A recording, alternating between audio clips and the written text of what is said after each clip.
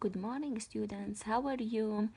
Today we are studying pulse rate class uh, workbook page 78.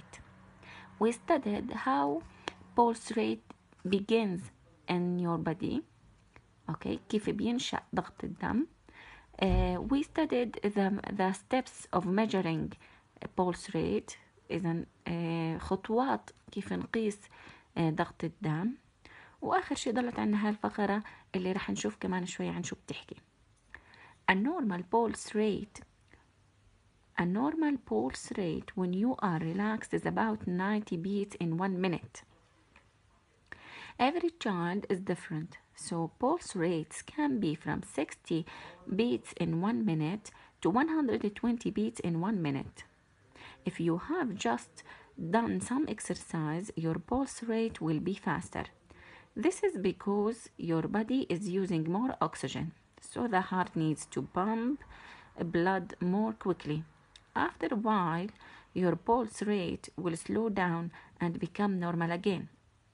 إذا عمالها بتحكي عن الفقرة هاي عن النورمال pulse rate normal الطبيعي What is the normal pulse rate for a human?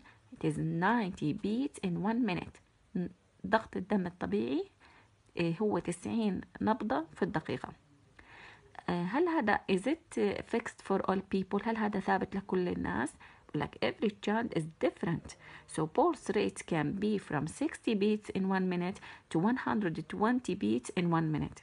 طبعا معدلات ضغط الدم بتختلف من جسم لجسم ومن طفل لطفل. فلذلك في عنا ريت معدل اللي هو من 60 to 120 beats in one minute طبعا كمان your uh, your pulse rate will be different when when you do exercises when you exercise لما بتبذل جهد your pulse rate will be faster حيكون البولس rate أسرع why why does your pulse rate be faster when you do exercise because السبب This is because your body is using more oxygen, so the heart needs to pump blood more quickly.